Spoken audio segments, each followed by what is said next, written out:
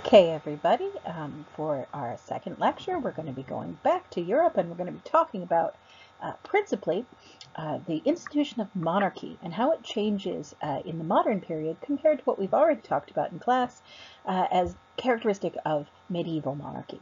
So what we're going to see are some really significant changes and there's going to be two distinct models or styles of monarchy that we're going to discuss.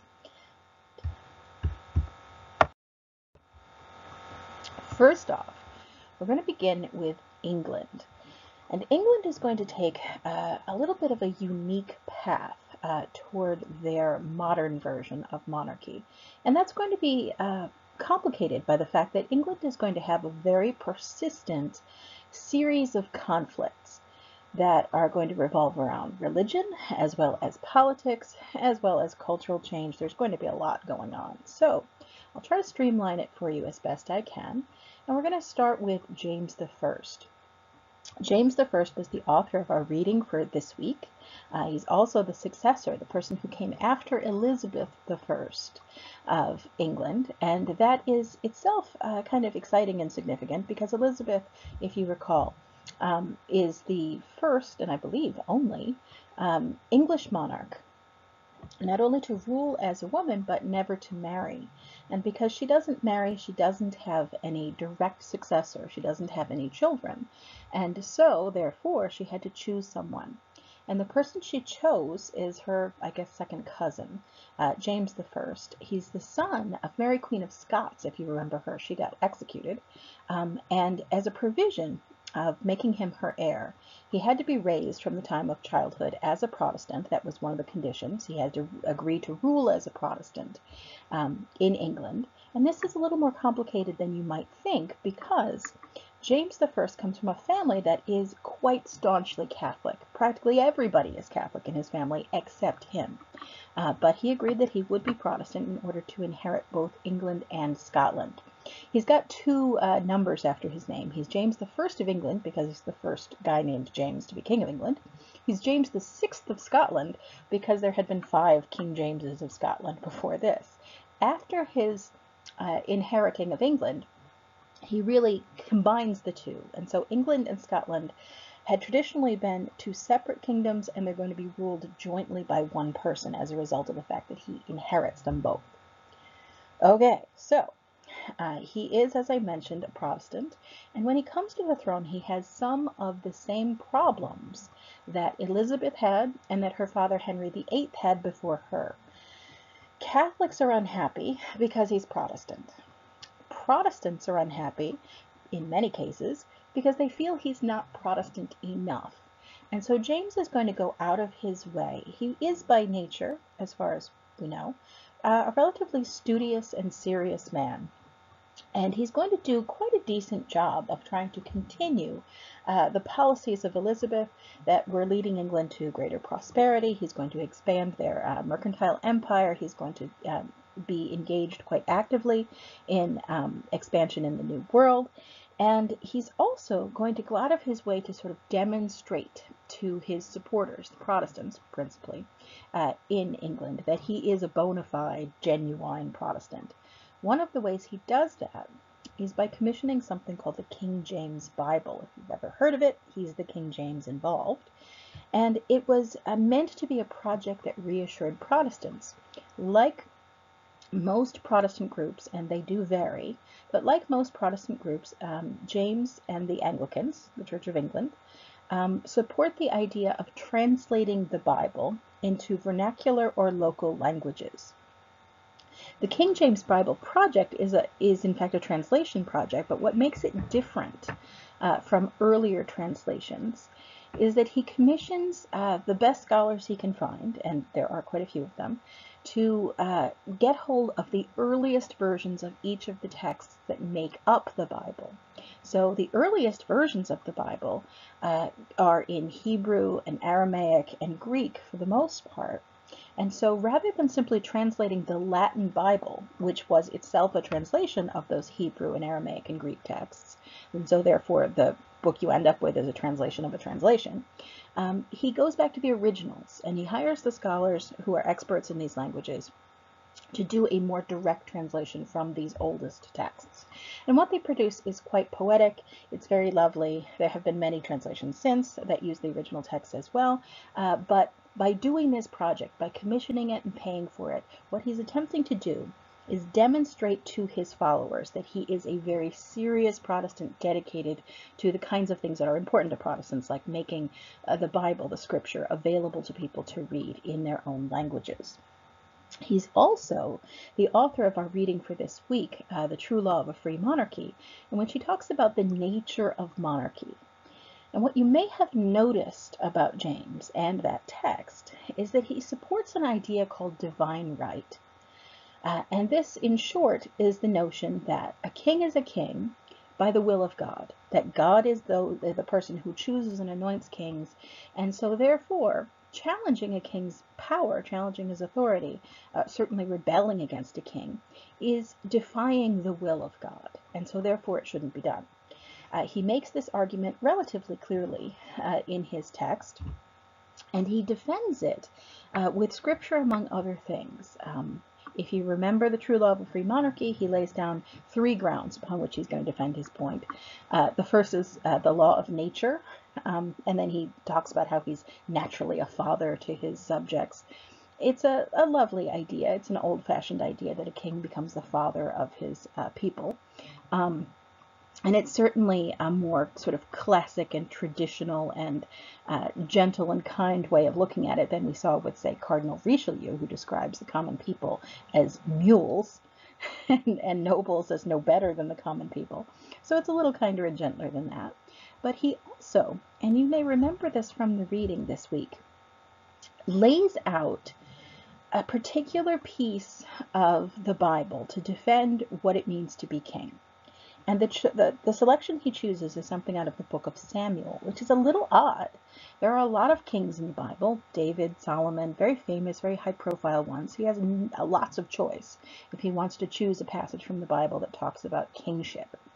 But instead he chooses one where uh, one of the prophets of the Old Testament is uh, talking to the ancient Hebrews, people who don't have a king at this point, about what it will mean to have a king. Now, the reason they wanted a king was because their neighbors were beating them up in warfare and they wanted somebody who could rally support and uh, the troops and win wars. And the prophet, speaking, you know, with the insight and closeness to God, is going to give them a warning, Samuel says. He's like, look, here's the deal with a king.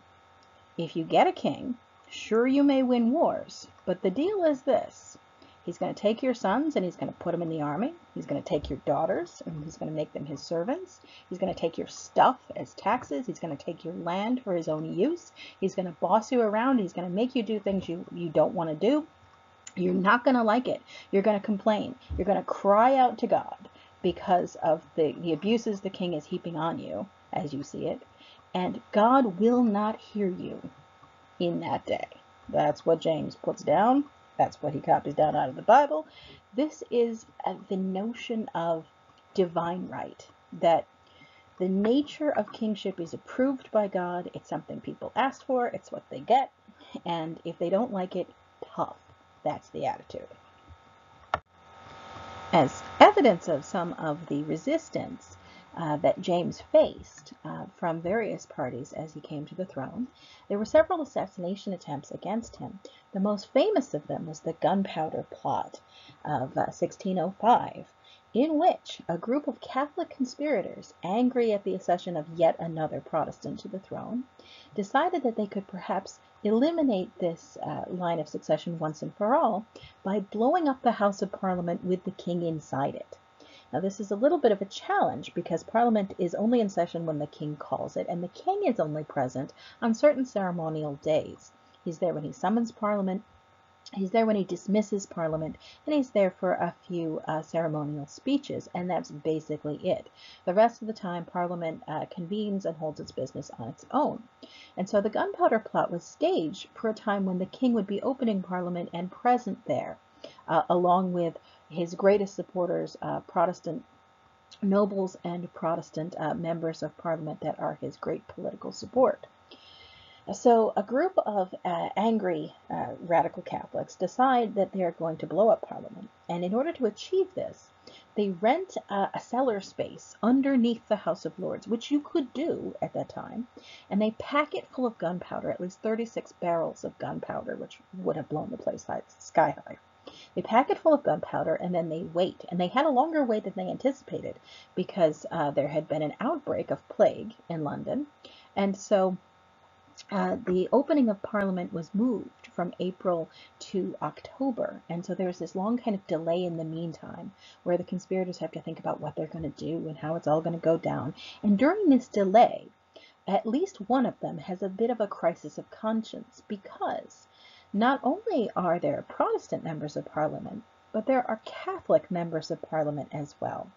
And so some of the conspirators, there were probably about 20 of them altogether, uh, become concerned and afraid that their Catholic patrons, their Catholic members of parliament, will be blown up right alongside the Protestants, and they don't want that to happen. And so one of them, we're not quite sure which one it was, uh, chickens out and sends a letter to a Lord Monteagle, who is uh, a baron and he is Catholic and is perceived to be a sympathizer. And in this letter, it basically says, uh, don't show up to Parliament on opening day. You probably don't want to. And by the way, if you could maybe tell some of the other Catholic lords not to show up either, that would be good. And in their minds, for whatever reason, they thought this would work. They thought that this noble would, the Baron, would get this letter, read it and be like, oh, okay, then there's some kind of plot against Parliament. I guess I just won't show up. That is not, in fact, what happens. He takes it, of course, to the king. And once the king has the letter in hand, investigations are made. The cellar is discovered. The gunpowder is found. A trap is laid. And so soldiers wait to see who's going to show up and try to deal with the gunpowder. And as they do this, they apprehend uh, a few conspirators, namely Guy Fawkes is the most famous of them. Um, and then they're going to use him and get information to track down the rest. Um, so it's very dramatic and there's all these sort of legendary stories about how when Guy Fawkes shows up and he sees the soldiers he realizes that the game is up and people are onto him but he still like runs with like a lit torch and he tries to light the gunpowder and blow up parliament even though nobody's in it at the time just to make his statement but he's caught and wrestled to the ground and dragged back out. So he and his conspirators are going to be arrested. They're going to be uh, tried uh, convicted Guy Fawkes is going to end up hanged, drawn, and quartered. And since it happened in that order, then it, I guess it isn't as bad as otherwise. But um, nevertheless, he dies. But it does indicate a very important thing. Um, there really is a significant amount of political unrest that will, will boil into actual violence over religion as well as over politics. And James has this very narrow, difficult line to walk, where he is trying to balance the influence of both factions. There are still a lot of Catholics in England. He can't get rid of them. He can't ban Catholicism at this point, though he is encouraging more and more people to adopt uh, the Church of England and Protestantism in order to have favored positions in his administration, etc. Nevertheless, these tensions and potential violence do kind of ride high. It's also, and this is just, I guess, for your information, Guy Fawkes Night, um, the gunpowder plot, um, is also known as Bonfire Night, and it is the um, the day that uh, the British celebrate their fireworks holiday. It's November 5th. They don't have an Independence Day the way that the United States has because they don't have independence. They still have a monarchy. So in the United States, we have fireworks on the 4th of July. In uh, France, they have it on the 14th of July, which is Bastille Day, where they celebrate their independence from monarchy. But in England, they celebrate the day when Guy Fawkes failed to blow up Parliament. So that's just for your information. All right, so going onward, James is going to be successful. He is going to walk that line. He does have the temperament for it. He's a steady, uh, serious kind of a guy, and he is, even though he is sympathetic to Catholics and Catholicism, most of his family are Catholic, uh, he nevertheless remains Protestant and he remains Protestant enough to reassure his supporters, and so therefore he does manage to keep that balance. His successor, Charles, his son Charles, is going to have a little bit of a harder time. Charles is also going to be Protestant officially, um, although he does recant on his deathbed. But he's going to be Protestant officially, although he is even more sympathetic to the Catholic Party um, in England than James was. So, Parliament is a little bit uncertain about him. Charles is officially Protestant, but they're not really sure they can count on him. Parliament also is increasingly interested in trying to guarantee their ability to make executive decisions, their ability to make legislative decisions independent of the king, especially if they don't entirely trust that he's on their side. And so when Charles inherits, he inherits in 1625, but Parliament drags their feet on officially recognizing his ability and authority to rule and throwing their support behind them until he signs something called the Petition of Right. And in the Petition of Right, it's basically a charter or a legal contract in which it grants Parliament the exclusive right to levy new taxes or to create and institute new tax rules. And this is a major concession. It's a, a, major thing to give over a source of authority, kind of a power of the purse, if you will. It's not complete and absolute. Charles is still allowed to uh, levy traditional taxes, the ones that are already on the books. He just can't come up with anything new, nothing surprising or different without getting Parliament's permission. So that's a big concession to Parliament. Charles was unhappy about having to make that concession. And so to retaliate for this, what he does is the minute that Parliament confirms him and throws their support behind him, he signs the Petition of Right, and then he dismisses Parliament. Parliament doesn't uh, convene at regular intervals at this point. They convene when the, the king summons them. Traditionally, the king summons them reasonably frequently. Uh, at least, you know, every year, or the other year, something like that. Um, and they go back home when the king dismisses them. So the king dismisses them, sends them back home to their districts, and then just doesn't summon them again for 10 years. And this is a major political hot point. Uh, the members of parliament themselves, they're split into two camps. There's the House of Lords, and that's traditional. And you get to be a member of the House of Lords by inheriting uh, various titles around England. If you're a duke or a baron or uh, an earl or whatever, you're in the House of Lords. And then the other body, it's called the House of Commons. And to be in the House of Commons, you are elected. Now, this is not a free or democratic election at this point in England. Uh, the people who have a right to cast a vote are quite limited, uh, and it's mostly determined by uh, property, and a lot of it is still rolled up in those very same lords who occupy the House of Lords, so it's nothing like a democracy exactly. But the House of Commons is made up of people who don't have titles, and are elected to their offices. And in the House of Commons, there is a very strong faction of not just Protestants, but radical Protestants, the Puritans we've talked about in the past, people who really want to see uh, Charles, James before him, uh, Elizabeth before that, move toward a much stricter, uh, more, uh, I guess, morally upright in their view, uh, demeanor and behavior on the part of the king, of the aristocracy, and the government in general. They would like to see more favorable rules made uh, for Puritans, uh, they themselves, to celebrate uh, their religion, to generally promote their ideals. And so you have this uh, segment of Parliament that is uh, dominated, I guess you could say, by these sort of religious zealots, um, reformers who would like to see their agenda promoted um, equally at least alongside that of the king. And in ideal terms, they'd like to see it promoted over and above um, the agenda of certainly Catholics and even more moderate Protestants. And Charles hates them. He doesn't want them to have more support. He really wants, if there's going to be Protestantism, it to be the more softer, gentler kind of Anglican Protestantism that James supported and that Elizabeth supported before that. He also is quite sympathetic to Catholics, and he doesn't want to see them uh, ruled as ineligible to serve in government, for instance. And so Charles finds himself at odds uh, with this Puritan faction. So he simply refuses to call Parliament for 10 years. And during those 10 years, The radicals in Parliament are only growing more radical. They're getting angrier and angrier. They are stewing over this, and they're making a list of all the things Charles is doing uh, while they're not being summoned that they don't like.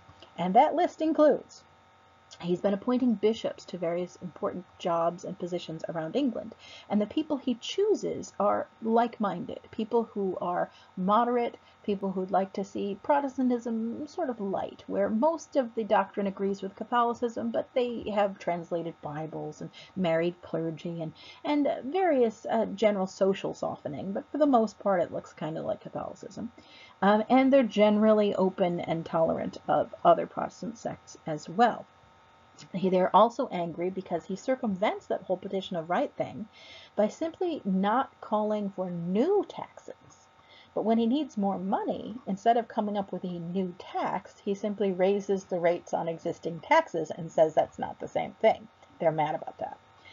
Um, and so he's making political appointments, he's making religious appointments, he's uh, managing to get his tax revenue uh, by going using this loophole to get around the petition of right. They're getting angrier and angrier and angrier, and by not summoning Parliament, uh, they feel very offended. And there's a lot of people who might have been religiously very much not interested in the conflict. They're middle ground people, but the longer Charles goes without summoning Parliament, the more those people begin to be uneasy.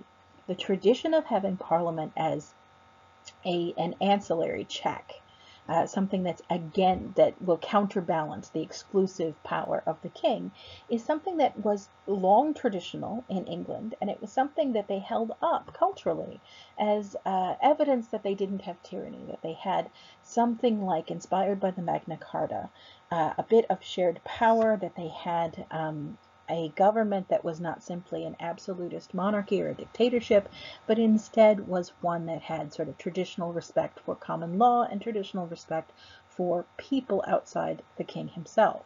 And so by not summoning parliament, Charles is playing with fire here. He's angering people who might not have been uh, his political adversary to begin with, but they're starting to become convinced that way now. Then, Charles issues uh, something called the Book of Common Prayer.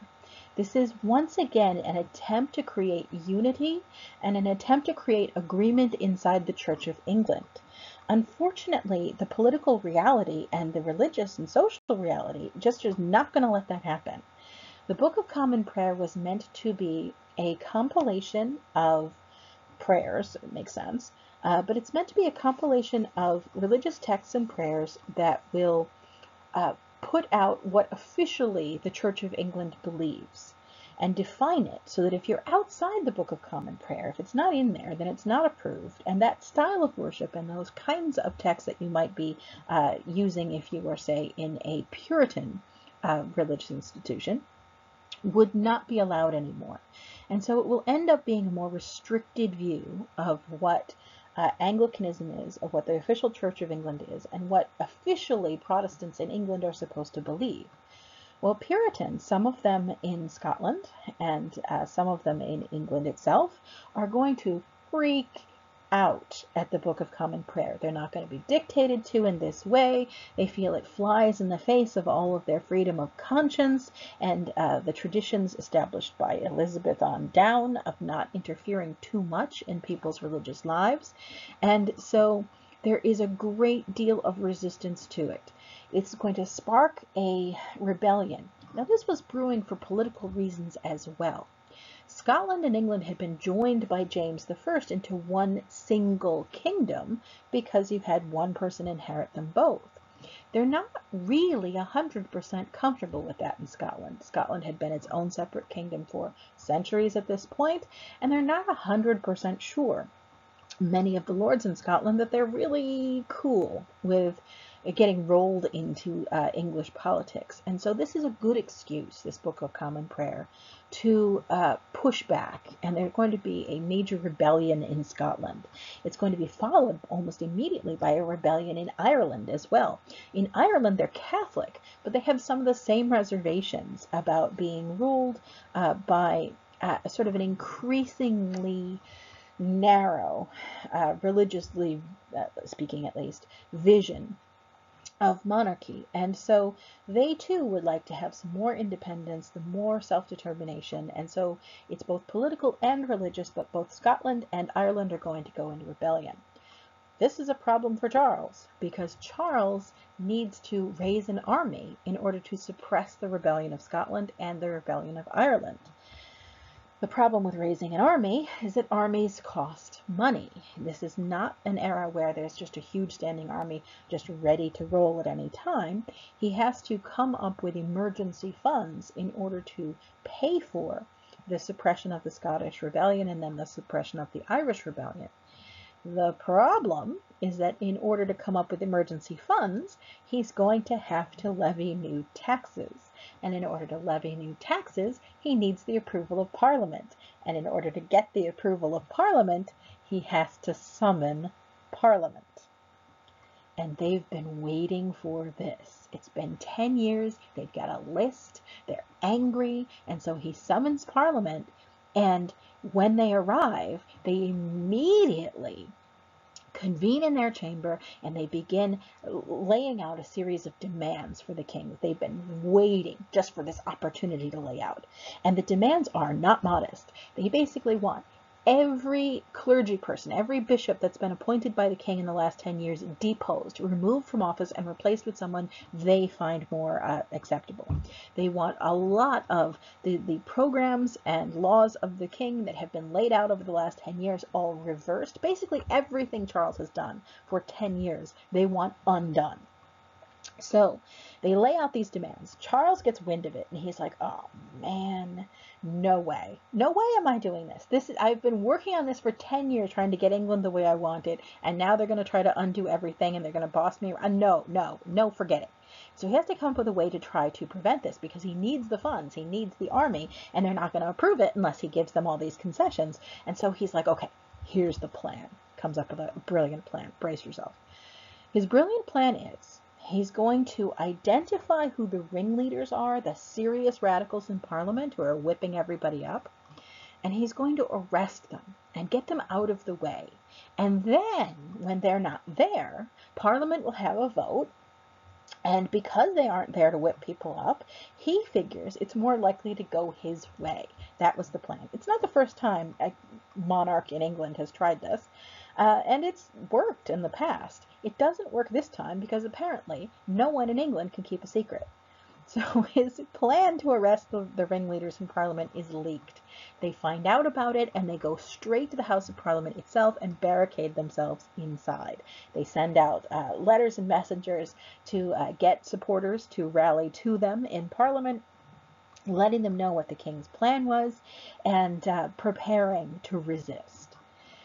Now, this is where it turns into something like an I Love Lucy episode, where it just keeps getting worse and worse and worse. A sensible person would, at this point, simply have denied everything. Charles could totally have gotten out of this. He'd been like, I don't know what you're talking about. You've got poor intelligence from somewhere. I never intended to do any such thing. But no, what he does is he hears that uh, the members of parliament have barricaded themselves inside the houses of parliament, and he decides that he's going to send soldiers to dig them out of there. So he sends troops, and Parliament, if you've ever been to London, is right in the middle of London. This is not something you can miss. If you know the Tower of Big Ben, it's right there. It's part of the House of Parliament. Um, and so uh, this is not something he can do quietly. The members of parliament, duly elected by the people, have been uh, barricaded inside, and now the king is sending soldiers to attack the legislative body itself. This looks terrible. I mean, the PR on this is awful. Everybody knows about it, everybody sees it, and what they see is a tyrant attacking the uh, duly elected members of the uh, British government. And so this is where it gets even worse. Charles sends the soldiers to go dig these members of parliament out, and they fail because they've been barricaded in, because they have weapons with them, the members of parliament fight off the king's attempts to arrest them and retain control of the House of Parliament. And all of these messages go out to all of their political supporters across the country, and Uh, those supporters draw on all their political connections, and the parliament that's still inside the House is going to pass legislation that basically declares the king's actions illegal, summons the army to their defense, and what happens is the English Civil War. So, all right, now, once Parliament has decided that they're going to break with the king, and this really is what happens, uh, they summon all of their supporters, as I mentioned before. Uh, the leaders of those who are breaking with the king come to be known as the Roundheads. They're called that because many of them are Puritan. And Puritans will, uh, I guess, announce their religious views and their general social views by turning their nose up and eschewing um, all of the sort of elaborate fashions that were being followed by other people of the 17th century. And in the 17th century, it was fashionable to not only have elegant clothes made out of wonderful rich fabrics and uh, kind of puffy sleeves and all that kind of jazz, but also to wear your hair long and flowing, whether you're a man or a woman. Woman, it would be tied up. But um, the Roundheads were known as Roundheads because they had a habit of cutting their hair quite short, uh, because they didn't believe in the sort of vanity of having long flowing hair. And so on the opposite side, you had the royal supporters, known as the Cavaliers, which is just a fancy French-based word for um, a knight, somebody who rides a horse. Um, and so the two sides are going to form. Charles has his supporters, and on the other side you have these parliamentarians, uh, many of whom are spearheaded and led by serious religious reformers, Puritans who want to see a religious change in England as well as a political change. And that is the two things that are kind of united together. The Roundheads are looking for two main goals. They would like to see more uh, Puritan style of religious leadership in England, but also they would like to see a political structure where Parliament is empowered compared to the king, where Parliament has more ability to make choices and decisions and influence government than the king has on his own. And part of the reason they want that, it's not as much a, a philosophical thing as it is they see this as necessary to secure good moral leadership, that kings have a tendency to be corrupt, that they have a tendency to be decadent, and they have a tendency to be very Catholic sympathizing. And so all of those things uh, are suspicious to the Puritan sort of hardcore faction, and they would like to see change made. So, as I mentioned, uh, it breaks into open conflict and civil war. This is just referred to as the English Civil War. Uh, the leader, uh, we'll get to him in just a bit, talk about him in more detail, of the Roundhead side, he rises through the ranks of the army, is a commander by the name of Oliver Cromwell. And as they take the field, Cromwell's uh, strategy and defense is going to be successful, and he has the support of enough of the English army. It fractures. It is a civil war, uh, so it's English versus English person, um, and the the Roundheads, the Puritans, have enough uh, support and pull inside the army that they're going to be successful. They're going to, going to win a series of battles, culminating with the Battle of Naseby in 1645. And in this battle, Charles is going to be captured and he's going to be dragged back to London and put into prison. Once this happens, Charles is going to be put on trial. And this is really an unprecedented uh, step in terms of the history of monarchy. Charles is going to be tried for treason against England, treason against the state, even though he is the king. And even though there really is not much legal precedent for saying that the king is limited really in any way, uh, that he really, the king's actions are typically and traditionally considered to be um, legal, that whatever he does, even if it's a terrible abuse, is nevertheless uh, the action of the government. And so Therefore, the idea of a king being tried for treason is itself a really radical and, and new idea. But this is uh, the, the theory that is tested at this time. Cromwell puts forward the idea that England and England's government is something separate and apart from the king and his leadership, that there is a law that supersedes uh, the decisions of the king, and that law is superior to everything, even the monarchy. He is going to be tried, as I mentioned. He's going to be convicted, and there'll be a fierce debate over what to do with him. Now that he's been convicted of treason, is it enough simply to remove him from power, or what should they do?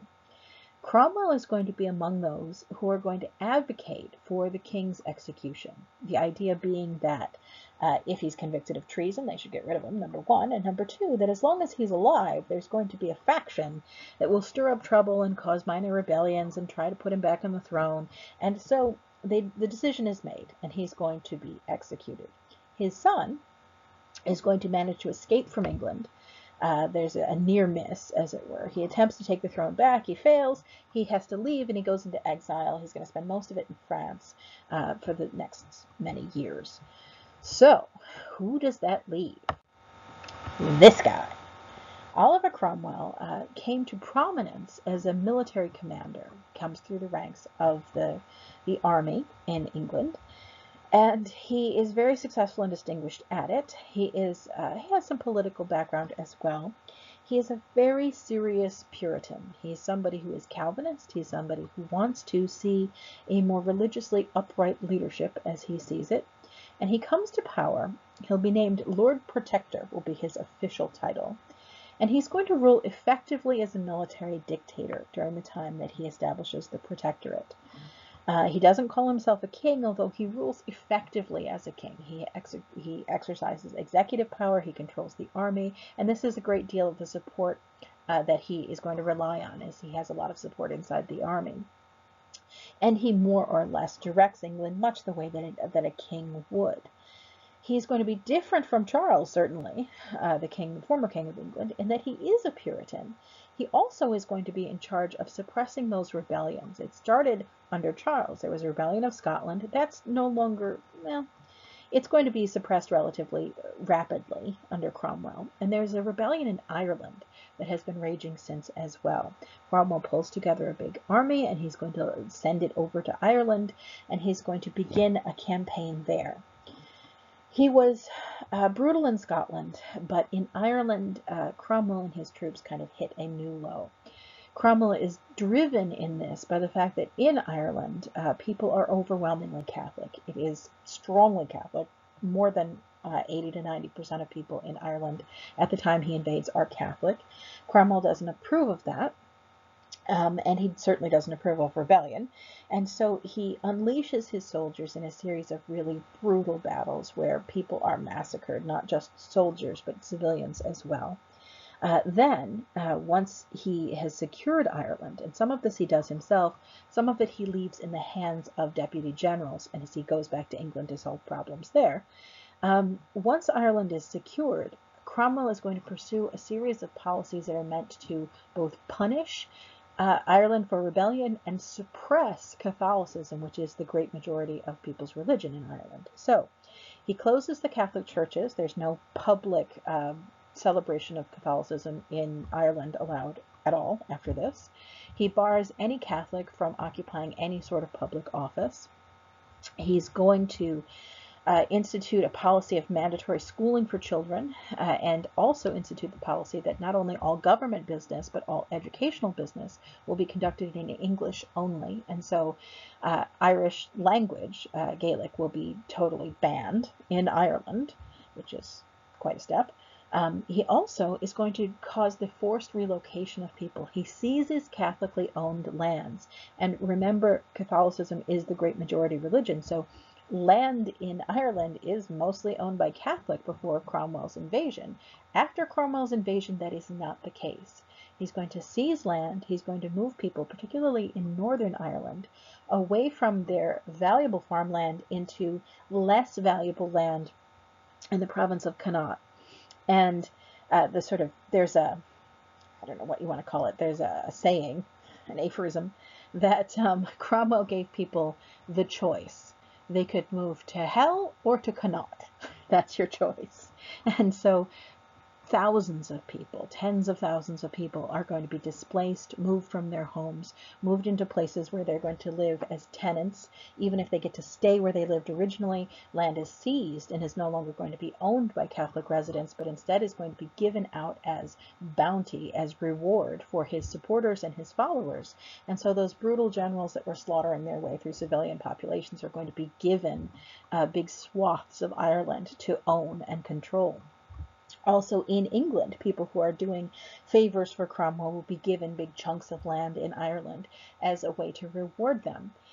This is going to be very important for Irish history, uh, really until today, uh, because the people who are given this land are going to be very often absentee landlords. They own land in Ireland, they want to turn a profit off that land, not many of them are actually going to move to Ireland and be resident there. That will be important later, so just kind of know that piece of information.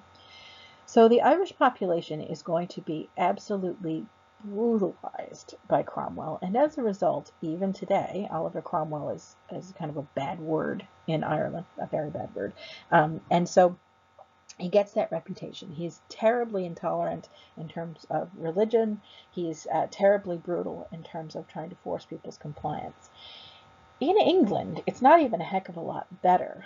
Um, he certainly doesn't slaughter people, certainly not civilians, in the same way. He doesn't force everyone to become a Puritan in England, uh, but he does, however, exercise a very serious restriction on the presses.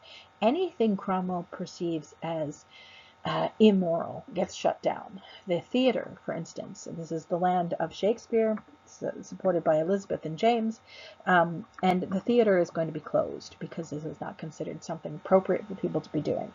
Uh, he's also going to put really strict censors on the presses, and he, those censors are going to uh, act not just in political ways, so as to stop any um, criticism of the government, his government in particular, but also the censors are going to work on a moral uh, level as well from his perspective, so that things like novels, which are a brand new genre at this point, things like plays, anything that seems too racy or salacious or um, frivolous, are going to be banned and they're not going to be allowed to be published. There's really serious restrictions put on that. And this is not, as you might imagine, particularly popular he represents a faction of radical uh, Protestants known as Puritans, but most people in England are not part of that faction, and being ruled by Puritans turns out to be something of a drag uh, for many of the people in their perspective in England. There are people who are royalists who are displaced, they've gone into exile in some cases. There are people who are just kind of moderates who really don't like this style of governance. There are people who are disenchanted even in among the sort of radical supporters of uh, Protestantism, even among the radical uh, Puritans, because Cromwell is ruling effectively like a king. And so there's a lot of unhappiness, uh, I guess you could say, in Cromwell's England. And even though he accomplishes at least some of his goals in terms of, uh, I guess, solidifying uh, his rule and calming things down and trying to repair the economy after the English Civil War, Cromwell is still going to be a really divisive figure, and people are not, he's not universally loved, we'll just say that. So, when he dies, when Cromwell is out of it, um, there's going to be some political disarray. He ruled more or less like a king, but he did not uh, draw on the idea of inherited, I guess, government. That once he died, it wasn't really supposed to create a new dynasty. And so once uh, Cromwell dies, there is a great deal of debate over what will happen now. And uh, various factions are at each other's throats. It's just chaotic. There's more fighting. There's all kinds of disarray. And in the end, Parliament decides that this whole experiment with the Lord Protector and having Puritans rule England was really not all that successful, and that maybe the pathway back towards stability and growth and uh, peace would be to ask the king to come back. And so they restore the monarchy. In 1660, Parliament requests that the son of, James, of Charles I, the guy who gets beheaded, should come back and become the king out of exile. And so he agrees, and he does. And as you can see from his outfit, he is not a Puritan or anybody who sympathizes with them. He's got a beautiful ermine cape there. Um, and he's going to return. He's going to be known as the Merry Monarch, Charles II. And this period is known as the Restoration. And it will be known as this almost like roaring 20s kind of party time. Because Charles II, when he comes back to the throne, he undoes a lot of those restrictions that really people were upset about under Cromwell. So he reopens the presses and allows them to practice with very, very limited censorship. It's not completely gone, but it's really extremely limited. So that the presses in England become among the most free of anywhere in Europe. And so if you have radical political ideas or religious ideas, England becomes the place where you go to have those ideas published and promoted. He reopens the theaters. He reduces the restrictions on like bars and taverns that Crom- Cromwell had done that too, uh, that Cromwell had put in place. He is known as the Merry Monarch in part because he himself has a reputation for being something of a party guy. Um, he enjoys having parties. He also becomes famous and sort of beloved in some circles. He has his enemies, don't get me wrong, but he becomes famous and beloved in some circles because he um, loves to travel incognito around England. He'll dress as a common person and just kind of blend in. And he sort of becomes infamous for doing this, of being just, you never know when the king might just turn up and be having a beer somewhere. Anyway, um, he does that. He also, uh, one of his detractors made a joke about him that he could be considered the father of his country in a bit too literal way. He very famously has mistresses. He acknowledges at least a dozen illegitimate children. He is just a fun-loving kind of guy, but it has its downsides. Uh, they, he definitely courts criticism from the Puritans that are not gone. He also, even though he has at least 12 uh, illegitimate children that he acknowledges, he doesn't have a legitimate heir, and that's a problem. Charles is officially a Protestant. That was part of the uh, deal that Parliament made with him. They make a series of other deals as well. Before they let him come back, they don't allow Charles II to have the same amount of power even Charles I had. Not only does he have to sign something called the Petition of Right, but it goes beyond that. He has to get Parliament's approval for a whole series of legislative moves. He has to surrender a good deal of what the king has done independently by tradition into the hands of Parliament. And so he begins a process where the king is really beginning to share power. He still is a powerful figure at this stage, but it's it's starting down that slope. At any rate, he has at least 12, as I mentioned, illegitimate children, but he does not have a legitimate heir. And even though he is Protestant, that was a condition of him being the king, his family, if you recall, is all really Catholic. They're Catholic up one side and down another. And so this makes Parliament a little bit edgy. They're afraid that he's going to be a little bit too sympathetic to Catholics, and Charles really doesn't do much to dispel this um, fear. He is quite an open-minded, I guess you could say, religiously speaking, and tolerant figure. He doesn't really seek to have any kind of uh, persecution of any religious figures at all. He just lets people do what they want to do. And this is good for some, and others find it unnerving. They're a little afraid that he's a little bit too sympathetic to the Catholics. When he dies, he doesn't have an heir. He doesn't have someone to come after him. And the next person in line is his brother, James II. James II is, as I just mentioned, Catholic. And so when he comes to the throne as a Catholic, Parliament is really, really not sure they want this to happen. They're afraid that the Civil War is going to break out again. They're afraid things are going to go badly. They're not sure that this is at all what they want. They're very, they wanted a Protestant, but do they want to force him to be Protestant? They're not sure.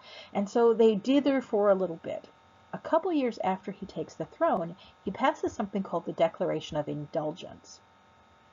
And in the Declaration of Indulgence, James II basically says it's okay if you want to be Catholic. All of the legal restrictions that have put, been put on Catholics in government positions uh, that go back for the generation or two before him, um, those are going to be lifted. Anybody who wants to be Catholic, it is now okay to be Catholic. And so therefore, um, we're going to kind of open that door. And Protestants in Parliament freak out. They're like, oh no, we're going to have another war. It's going to open the people, the factions are going to be at each other's throats again. This is going to be awful. We have to do something. And so they take action. And here we have it, the culmination of this path that England's been on. In 1688, Parliament simply tells James II that he's not the king anymore. Instead, they invite uh, James's daughter, there she is, Mary, um, to come to England and rule as queen alongside her husband, William of Orange. And the person they really wanted in all this was William of Orange. That's who they really wanted to be the next, uh, I guess, ruler of England. Uh, but he you know, doesn't have any legitimate, uh, I guess, hereditary claim to the throne, whereas Mary does. And so what they do, and it's the only time this happens in English history, they offer them the, the opportunity to be joint monarchs. So they rule as king and queen, not as queen and uh, prince consort or king and, you know, queen, but she's not in charge. So they're going to rule jointly uh, with the support of Parliament and with the acknowledgement and understanding that Parliament will have a growing uh, role in terms of actually governing and legislating in England. And it works. Parliament declares them to be the king and queen. They declare James II not to be the king, and it's called the Glorious Revolution because it is all but bloodless. There's almost no fighting. Uh, James II is deposed, and he ends up having to flee the country. He goes to France, and he makes a couple of like weak attempts to try to take the throne back. It doesn't really work. Um, and William and Mary take the throne and rule as joint monarchs without having to fight a bloody revolution over it. That's why it's called the Glorious Revolution. And this demonstrates exactly how far uh, British monarchy has come. It's gone from James I with his divine right and however a king is, you just have to suck it up and deal, all the way down to the Glorious Revolution, where Parliament simply has the power to make or break the king. They can simply say to James II, You're not king, these people are, that's how it is, deal. So truly, we've moved toward constitutional monarchy. The idea of monarchy that is defined and limited by legal text, the Constitution of England. Um, well, it's not really a constitution, it's not formal, it's a collection of English common law, that's a separate thing. They don't have a, a straight, you know, constitution in the way that the United States does. Uh, but it's known as constitutional monarchy because it is something that is limited. It's something where the law and parliament and the legislative body has control uh, alongside the king. On the flip side of that, what we have is a completely different model of monarchy, also equally modern, uh, that we find in France. France is going to follow a completely, as I mentioned, different path. Where England moves toward limited monarchy and constitutional monarchy, France is going to move toward absolute monarchy. And the poster child for absolute monarchy is going to be this guy, Louis XIV. Louis XIV is known as the Sun King. He's going to be the king from 1643 to 1715. He's the longest reigning Euro uh, European monarch. So in all of Europe, he is going to be king the longest, 72 years. And when you find uh, kings and queens that rule for long periods of time like that, very often they end up being politically significant because the changes they put in place have the advantage of being defended for a long period of time, so long that people forget that there are other ways of doing things. And so that is going to be a big part of where Louis XIV's success comes in. He's going to be a king for a long time, and he has a long time to get his policies in place. We'll return to l'état c'est moi in just a minute, but that's just uh, a phrase that is associated with him. He probably never actually said it but we'll, we'll talk about why it's associated with him. We'll circle back. Okay. Okay, so in case you're wondering, I guess I should mention it. L'état c'est moi means I am the state, is one way to translate that. It's a reference to, I guess, a logical conclusion. We talked about Machiavelli weeks ago. And in Machiavelli, his famous quote is, the ends justify the means. And then, a week or so before we went away, um, we talked about Cardinal Richelieu.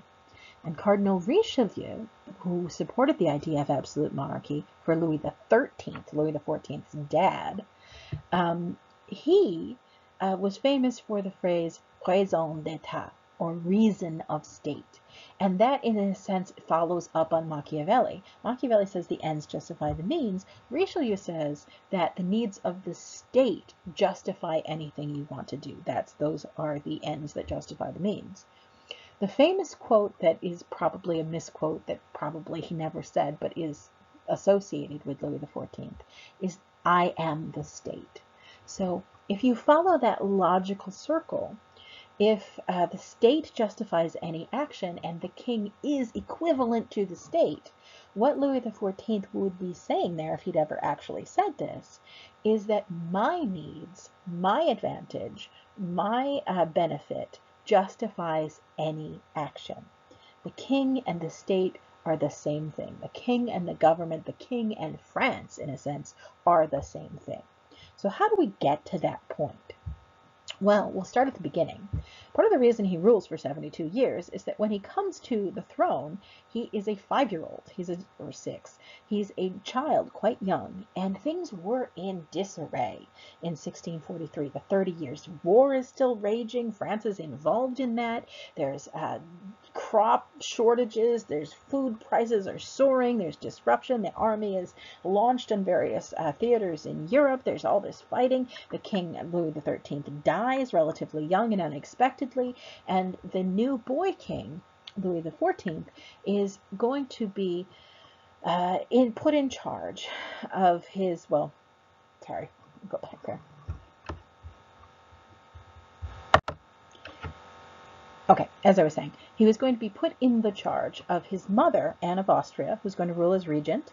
Uh, she is the daughter of the Holy Roman Emperor. She's a very powerful figure in her own right, and she is scrambling at the time uh, that Louis XIV takes the throne to try to keep France in one piece, and it's not easy. She has an advisor, Cardinal Mazarin, who is going to be very much in the same stamp as Cardinal Richelieu, who's dead at this point. Um, he's going to follow the same kinds of very mercenary, very ruthless policies to improve and increase the power of the king um, and also the Queen Regent, who's in charge at this point. Anne of Austria um, is an absolutely tough cookie and a powerful figure in her own right. But things are desperate in these early years. As I mentioned, there's uh, economic crisis, the, there's a war going on, things are just in disarray. The king is very young, too young to acti act, actively, effectively rule, and rumors begin circulating like crazy. Um, at the time, there's also huge cash flow issues. Anne of Austria famously at one point had to sell her jewelry in order to uh, keep paying the staff at the palace so that they could keep eating and keep the lights on candles and so forth. Um, in the palace, things were a desperate in a desperate situation. And rumors begin circulating all through Paris uh, as more taxes are levied to try to make up for um, the, the general crop failures, the high prices, all the kinds of problems that are going badly. Uh, people are petitioning for relief and not getting it. And so all these rumors begin circulating that the young king, the boy king, is being taken advantage of, that he's being uh, imprisoned somewhere and, and uh, is being treated badly, that he's secretly dead. And Anne of Austria and Cardinal Mazarin are plotting to conceal it from the world so they don't have to give over the reins of power to somebody else. So all of these things are circulating. At the same time, at the same time, there's a lot of unrest in the city of Paris in particular. This is a theme that we're going to come back to in our next lecture as well. Paris is particularly vulnerable when food prices soar, when things get bad, Paris is in trouble because it's a large city and they don't have the capacity to grow enough food in the immediate surrounding area around Paris to feed the people of Paris, which means that foodstuffs have to be imported and brought into the city. So anytime, like with the Thirty Years' War, you have trade networks disrupted, anytime you have crop failures and shortages, it's going to hit Paris early and it's going to hit them hard and prices go up. A lot of poor working class people live in Paris. They can't find enough money for food. They become very angry. They riot in the streets and they express their displeasure toward the royal family. There's also an outbreak, which is not surprising at all, of various contagious diseases. There's another small upsurge, we talked about this with England as well, of plague. Uh, there's going to be uh, major uh, upsurges in other types of contagious diseases as well. Influenza, cholera, typhus, scarlet fever, all of those things uh, are going to sweep across Europe. Not just this, the direct battlefield um, diseases that we find, dysentery and various other people who are dying by the thousands day after day in the Thirty Years' War, there are just massive uh, epidemics of disease that are sweeping across Europe from one side to another. As people go hungry, they're more vulnerable.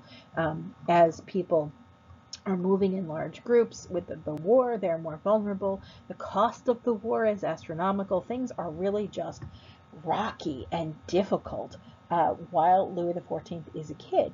And he's going to live through this with uh, really quite a lot of trauma attached. At one point, while he's still very young, the Fronde, which is the name that is given for the, the rioting working class people in, in Paris, are going to get to a point where the rumors that the king is dead, the boy king has been killed and is not really alive anymore, and it's just the evil cardinal and the queen that are running things, they become so convinced of these rumors that they break into the palace. They overwhelm the guards, push their way in, break through the doors, run up into the king's bedroom, where he's just a little boy sleeping in a little bed, and uh, burst through the doors, and look at him. And so this angry crowd of armed rabble comes busting into the palace, breaks into his bedroom, look at him, and they're like, oh, there he is.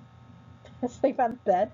Then they turn around and they leave. Nothing bad happened to him, but at the same time, imagine psychologically what that does to you as a child he was terrified by it. And as an adult, he's going to spend a lot of his life trying to figure out how to make sure that kind of thing doesn't happen to him ever again. Later in his uh, youth, while he's an adolescent, he has, uh, her picture is down there on the left, an unsuitable girlfriend as well, Cardinal Mazarin's niece, I think, uh, Marie Mancini, um, whom he is desperately in love with, but his mother doesn't approve of, and she has to break them up, and it's all very dramatic.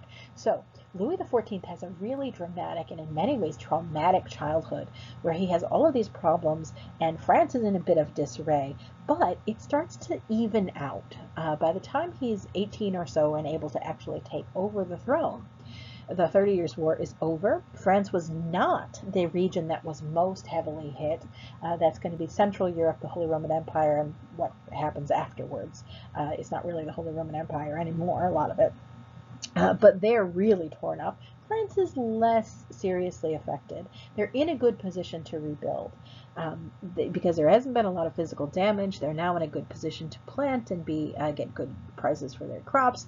Uh, they're in a good spot. And so while Louis XIV is growing up, things start to look up for France. They start to become more prosperous, things start to look more stable, politically speaking, and things are going well. Okay, so Louis comes of age.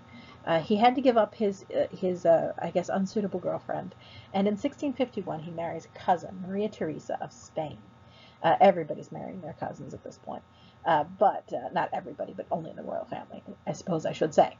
At any rate, he marries Maria Theresa of Spain, which is a, a good alliance. It brings a, an infusion of cash, and he manages to make a whole bunch of political headway as well because of this marriage.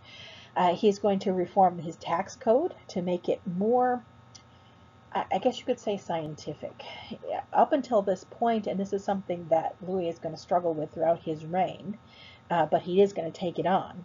Up until this point, tax collection in France, a lot of it went all the way back to the Middle Ages.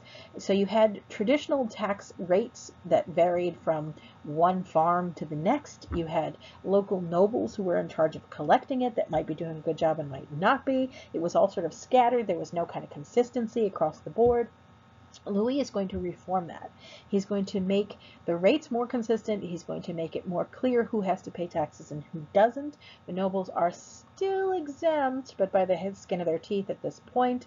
Uh, he's going to take away also a lot of the sort of traditional local family officials who are in charge of, say, collecting tolls on bridges or uh, being in charge of the um, you know, pick a, a, governmental job. People who are in charge of, I don't know, certifying herds of cattle, that kind of thing.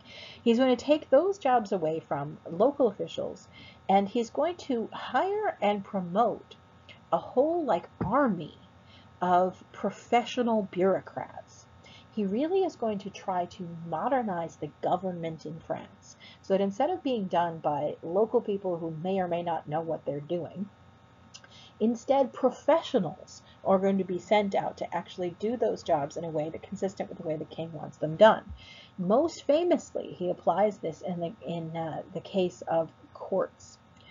Again, traditionally, and it goes back to the Middle Ages and beyond, uh, the local courts, law courts, were presided over by local nobles and whoever the local nobles might have appointed to act as their deputies. Louis is going to try to counteract that by making it official policy that these local magistrate courts should be presided over by people with official legal training, actual trained lawyers and jurists who know what they're doing and understand the law. And so he's going to try to make these types of changes right across France. And the goal of all of them is to make it more efficient for the king to collect tax revenue and also more efficient for the king to have his laws and wishes uh, carried out effectively and immediately in the country. He's trying to centralize authority so that the king by himself is going to be the one making the important decisions in France. He's going to also expand the army.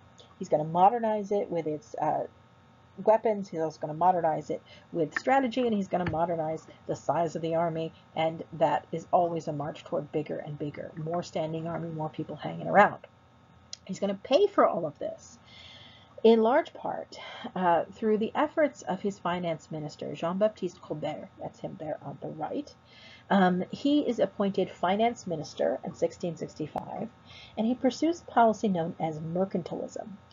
Mercantilism is the uh, idea that um, the best policy for a government to pursue is one where they take an active role in manipulating the national economy.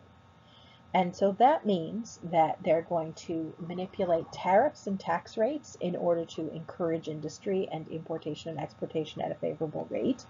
It means that they are going to invest very heavily and very directly in industry, sometimes in shipping and manufacturing. So the, the King of France is going to pay for new and updated and more modernized merchant fleets, for instance. He's going to pay for new and updated and more modernized ports and uh, kind of loading docks in order to make um, trade more profitable.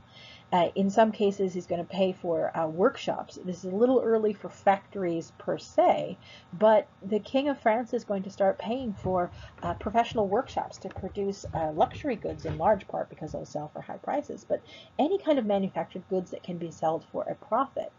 Uh, this is going to go to quite extreme lengths.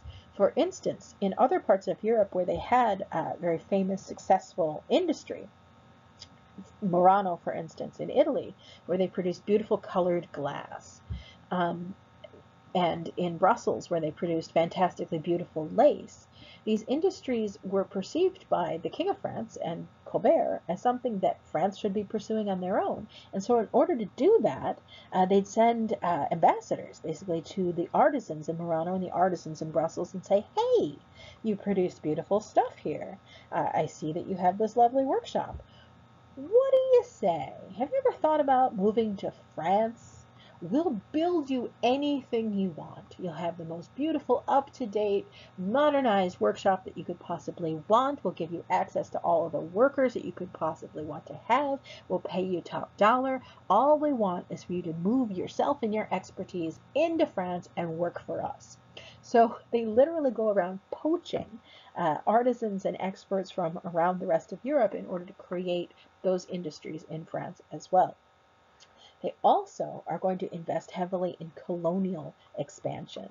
They're going to put more money into expanding uh, French mercantile interests in North America as well as in the Caribbean. Um, and they are going to do the best they can to bring in things like timber and fur and sell them at a, at a profit and expand colonial territory and generally uh, just try to make lots of money. And what does he do with this money? Well, part of what he does are all the things we've already mentioned, very practical applications. Reforming the tax code and training professional lawyers is not exactly cheap after all. Uh, but he's also going to spend money on creating a new court culture. Uh, Louis is moving all of his goals into line, and all of them line up to try to create this absolute monarchy. A kingdom where the king is the one effectively controlling and making decisions about as many aspects of government as are possible to control. by one person. That is the goal. And it is a very modern notion of monarchy. This is not what monarchy looked like in the Middle Ages. But it is something that Louis XIV is moving toward. And to that end, he's going to invest in building, or rather rebuilding, a palace uh, on an old hunting ground property outside Paris known as Versailles. Versailles, as I mentioned, is outside the city of Paris itself, and there's a reason that Louis wants to move his palace to this place. First has to do purely with security. He grew up, if you remember, uh, afraid of the mob in Paris. He doesn't like kind of being at the mercy of uh, local workers and, and rioters that could possibly cause disruption at any time. And by moving outside the city, he's creating a buffer zone, a kind of a safety release so that anybody who's mad in Paris would have to hike their way over to Versailles over miles and miles. And by the time they get there, they can be intercepted by the army. So partly it's just security, and partly at Versailles, Louis XIV is going to make a deliberate effort to create a, a very particular aesthetic world, and that he's going to require everybody who wants to be important in France, whether they're nobles who are desperately trying to hang on to their traditional privileges, or whether they are middle class people, wealthy people who would like to have access to more privileges, all of them are expected to attend him at Versailles and be part of this world that he creates there. So, what does this world look like? Well, First off, we'll start with the palace. It was a massive undertaking to build the thing. It's enormous and it's made in a very deliberately modern style. It's begun in the 1660s. It's going to be completed by 1685. And it doesn't look like your old fashioned, I guess, stone castle castle type things. Instead, it's meant to look like this very cutting edge, beautiful but new modern kind of building. And it's absolutely covered in windows that have clear glass, which was a very luxurious item at the time. Very clear, completely transparent, beautiful, easy to see through type of glass, and represented a new technological advance for France.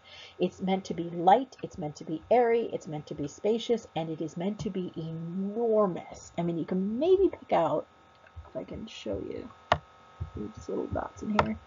These tiny little dots, those are people over there. So the, the place is huge. And if you come over the hill where you're going to see Versailles, you see these kinds of chimneys. You can see the, the roof line. And that's what you see first as you come up to it. And the place looks like a city from a distance. And then as you come over the hill, you realize it's all one huge palace. And the outside is not even close to the end of what it aesthetically uh, is meant to do to people. As you move into the Palace of Versailles, the space is meant to be staggering. It's meant to remind you of the enormous wealth and power and grandeur of the king.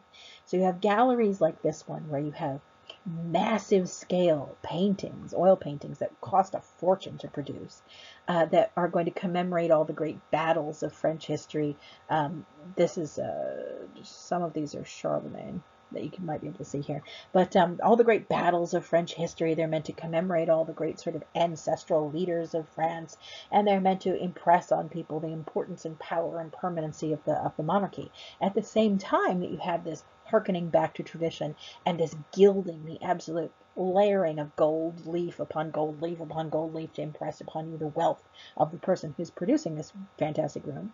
You also have the incredibly modern, see the skylight there, uh, ways of lighting the rooms, the buildings, the hallways to create something that no one had ever seen before. You have the beautiful parquet floors that are meant to impress you again with the level of artisanship, with the level of uh, capacity that the king has to create beautiful, grand, fantastic spaces.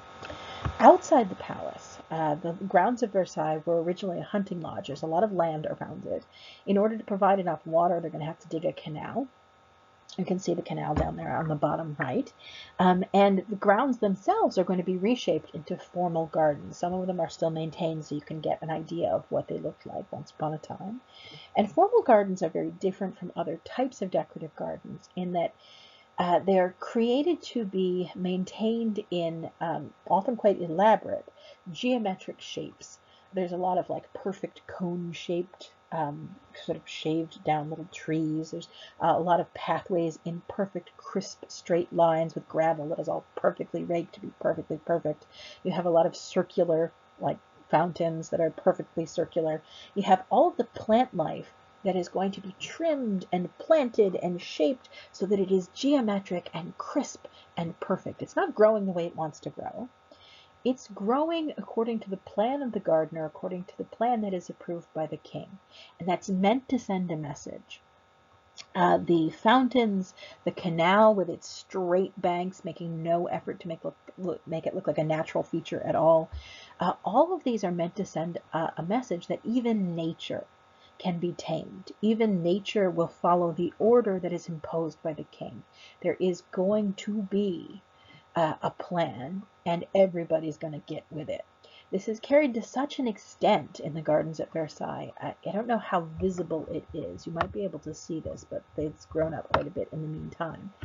It was there was a forest around Versailles. It was a hunting lodge originally, and Louis XIV uh, orders a big section of the forest kind of cut down and pulled out, and then replanted. He wanted it to be trees, but he orders the trees replanted in straight lines. That's how far he takes this idea of the formal gardens.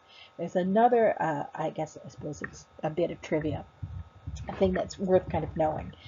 Um, in order to create enough water to support the gardens and to support the palace itself, as I mentioned, a canal had to be dug to bring water in from a nearby river. But even with the canal, there isn't enough water pressure to keep all of the fountains, which are fed purely by gravity, there's no actual pumps at this point, to keep all of the fountains working at the same time, there just isn't enough pressure. And so there was an official person whose job it was to know where the king was at all times, and so he could run ahead of him and make sure that any fountain the king looked at was turned on. So this person's job was to run ahead, turn on fountains the king might see, turn off the fountains that the king is not going to see, and make sure that the king never had to look at a fountain that wasn't turned on. So, as we can see, the king is creating a view. A fabulous, luxurious, over-the-top palace on the inside, on the outside, even nature ordered according to his plans. You can see this, I suppose you could say, most strikingly in the Hall of Mirrors. And if you notice this picture, it's a grand and beautiful and enormous hallway.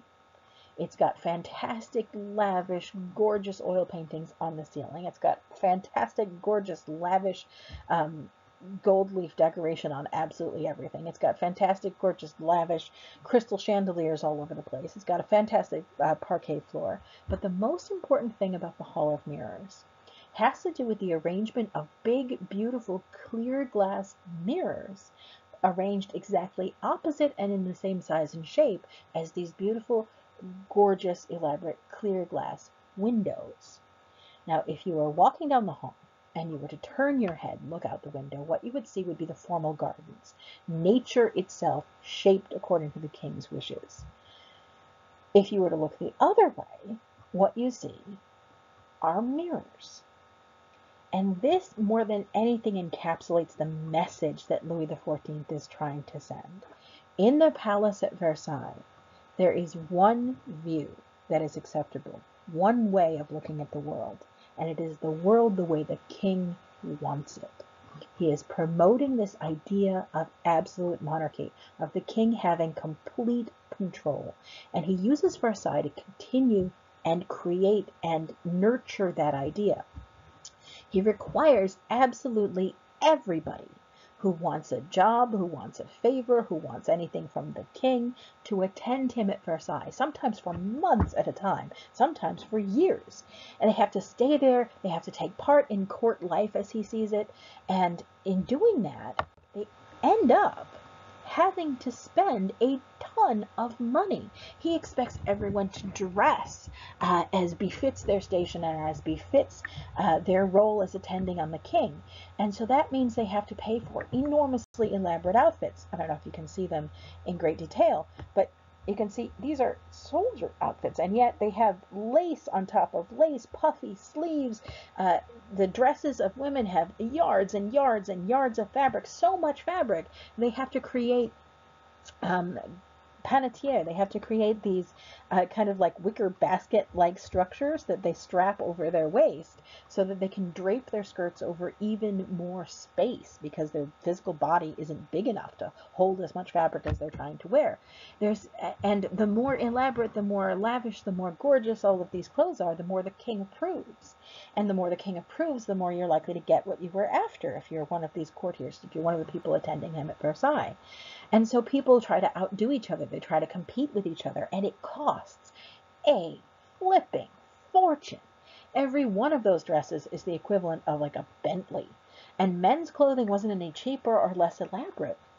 And so it cost a fortune to attend the king and to get his favor and to get his attention. And so the king has a, a, sort of a method to this madness. He doesn't want people just to spend money for the sake of spending money. When he has his nobles attend him at Versailles, what he's doing is he's uh, putting a lot of pressure on them to spend a lot of money while they do that. And the more money they spend, the less they have available to cause trouble. The less they have to stir up political resistance, the less they have to pay for their own private armies, the less they have to cause him issues. And the more they have to bend over backwards to please him, the more it reinforces in their minds that he's the one who's powerful. He's the one who's making all of the choices. He reinforces this by having really elaborate codes of etiquette at the palace at Versailles, which he requires everyone to attend to. For instance, if you wanted to enter a room where the king was, you had to stand outside and scratch on the door with the little finger of your right hand the little fingernail, oh, you have to scratch on the door. And there would be a footman standing outside the door who could hear this and open the door. And the given reason for this, of course, is that you can't be the king and have people knocking on doors, disturbing things you might be thinking or saying. And so, therefore, if you wanted to enter a room with a king in it, you weren't allowed to knock. You had to be very unobtrusive. But the psych- psychological impact of this, of course, is that it reinforces to people who are very rich and very powerful in their own right in many cases that they are not nearly as powerful as they would like to think they are. It makes them feel small. It also is an opportunity to do something that Louis is turning to his profit. If you are a person who is wealthy, if you're a banker or a merchant or you're somehow gotten to accumulate quite a lot of wealth, but you don't have a noble title, you're not part of the traditional nobility or aristocracy, that can change. If you go to Versailles, if you can find a way to be useful to the king, often by giving or lending him money, uh, the king might choose to reward you by creating a title for you, by allowing you to move up from being not just wealthy, but also in that nobility. Uh, so many people become part of this that it becomes, there's a new kind of name for it, the nobility of the robe. The nobility of the sword is the traditional nobility, the people who earned their right to be a duke with their fighting in the king's army. But the nobility of the robe are people who are rewarded by the king for whatever service, probably bureaucratic or monetary or something along those lines. They're usually not given any land uh, to, or estates to administer. Instead, they're simply given the title and allowed into this club so that their kids would be considered social peers and can marry into the noble families of uh, the actual old-fashioned traditional nobility, and they can move in those circles and consider themselves upper class. And you would think that it seems like well, what you're really accomplishing here. But lots, lots of the wealthy people who are middle class in France are going to be falling over themselves in order to get into this club. And so they end up really lining the king's pockets even further. And the other thing that he accomplishes by having everybody attend him at Versailles is that it gives him the ability and excuse to keep an eye on them in a very literal way. He makes them all appear in this palace everywhere in Versailles. Everything's mirrors, a hall of mirrors, every hall everywhere, but every room, every salon, every everything is covered in mirrors and it's surrounded by people who are competing with you if you're one of these nobles uh, for the king's favor. And so it's this atmosphere of competition it's this atmosphere of suspicion. It's this atmosphere where nobles who have traditionally been able to go around thinking themselves very important, powerful people are made to feel small and insignificant. And all of it contributes to what Louis XIV is trying to accomplish. He's trying to make himself the important figure in French government, and he's undercutting the nobility in order to do that. Now, he's got some military ups and downs. He had, as I mentioned, expanded his army. They'd conquered a bunch of territory on the border with what is now Germany and the Netherlands. Um, and well, it was the Netherlands then. But at any rate, he conquers some uh, territory along the border. He has a whole bunch of success. He's creating this absolute monarchy. France is becoming an economic powerhouse. And it all of this is creating quite a bit, as you probably can imagine, of suspicion and resistance elsewhere in Europe. The English Civil War has come and gone and is now over. They're starting to recover. They'd like to be economically uh, competitive with France. So they're kind of an automatic, uh, I guess, adversary. The Dutch, too, are nervous about uh, French expansion. The Holy Roman Emperor is nervous about it. And so all of them look over at what France is doing with this absolute monarchy, with the, the modernization of their government, with uh, the undercutting of the nobility, the expansion of the power of the king, and the expansion of their territory, and think to themselves, we've got to do something about this. We've got to, we've got to come up with something here. So um, they begin to form alliances. The most famous of these is the League of Augsburg, where England, Spain, Sweden, the Dutch Republic, the Holy Roman Emperor, and assorted German princes, those small German principalities that used to be part of the Holy Roman Empire, are going to join together to create an alliance, the purpose of which is to limit the power of France. And there's going to be a series of skirmishes and battles fought at the end of Louis XIV's life on the borders, where he's not as successful as once he was, and he's going to have to give up a little bit of territory and give it back, but he hangs on to most of it. Uh, also in 1685, Louis XIV achieves so much influence and power that he is going to revoke the Edict of Nantes. He's got so much and effective control over France that he is going to make it no longer possible, no longer allowed to be Protestant in France, and he gets away with this. And he doesn't necessarily uh, launch into a huge persecution campaign. There will not be thousands and thousands of Protestants arrested and slaughtered or anything, but he does revoke the Edict of Nantes and um, is going to make it no longer a, a kind of individual choice what your faith will be in France. Okay, so along the same lines of everybody ganging up on Louis XIV um, and creating a whole slew of powerful enemies, Louis XIV is going to end up embroiled in a war that uh, is entirely predictable. He, like almost all of his contemporaries in Europe, is going to follow a policy of marrying cousins. He marries his cousin Maria Theresa of Spain. Everybody else is marrying their first cousins. They're all married to each other. And we have that big fish in a small gene pool problem that we've talked about in lecture prior to now. It's going to happen again and again. And this is one of the more striking examples. What happens with the War of Spanish Succession? This is toward the end of uh, Louis XIV's life. But what happens with that war is that and you absolutely do not have to remember these relationships. But what happens with that war is that uh, Charles II, Mary is kind of in the middle. Charles II, uh, the King of Spain, is going to die in 1700. And he dies without an heir. And the debate comes up, what will happen now, now that the, the King of Spain is dead? Because if you follow this complicated nest of relationships, the next person in line for the throne since he has no children, you could have a debate about.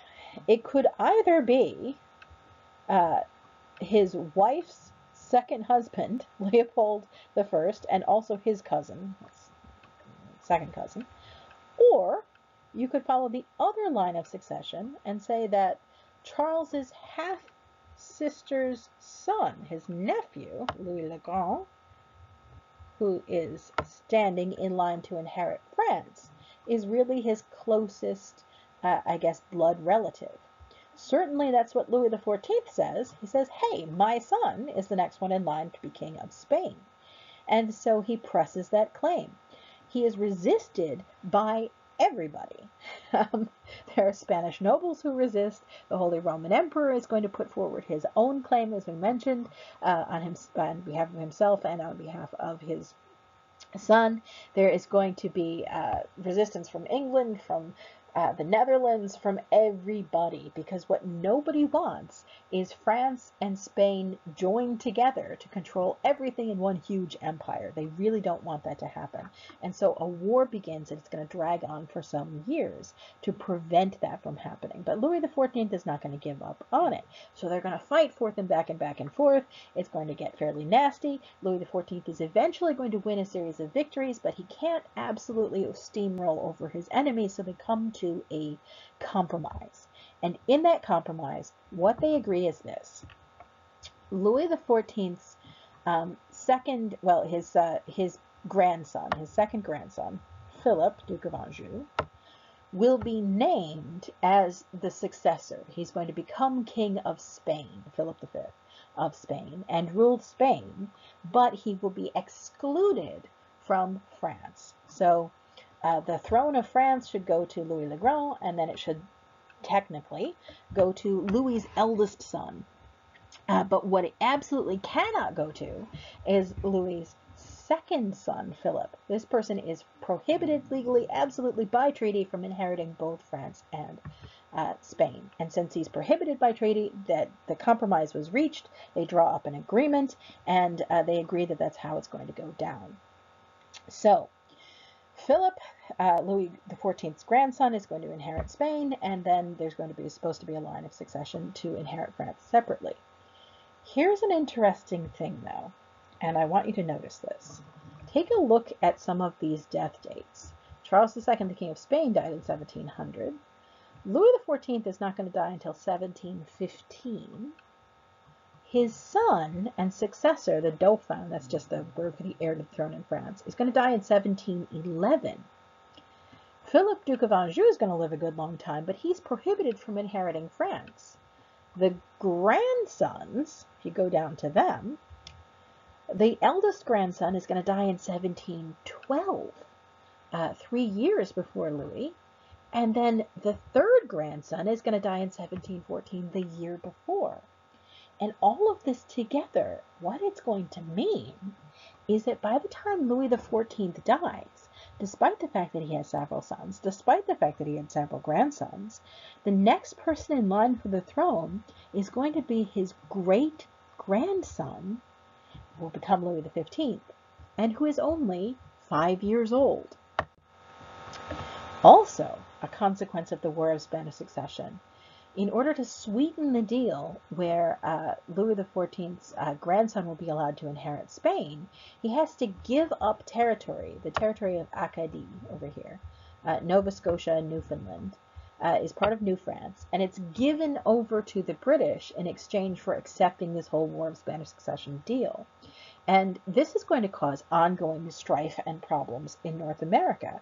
The French settlers in Acadie are not going to take this lying down. They're going to resist for several years, and there's going to be this kind of conflict and war that will be going on there.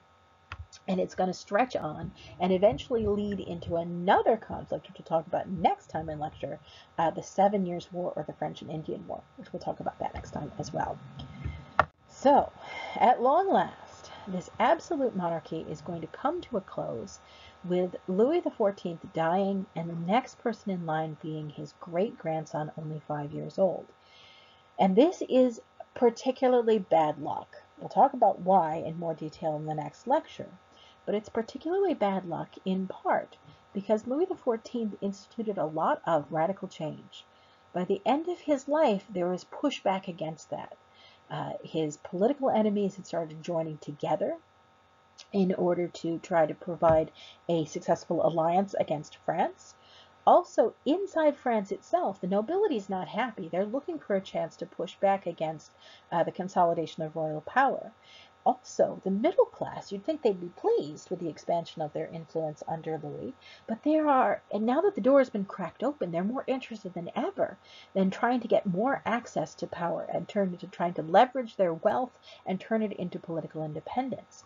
And so as a result, there's this great uh, uncertainty in France. You have this boy king, he's a child, there's a debate over who's actually going to run things, and all of the changes that Louis had put in place to consolidate power in his own hands is left in the hands of a child.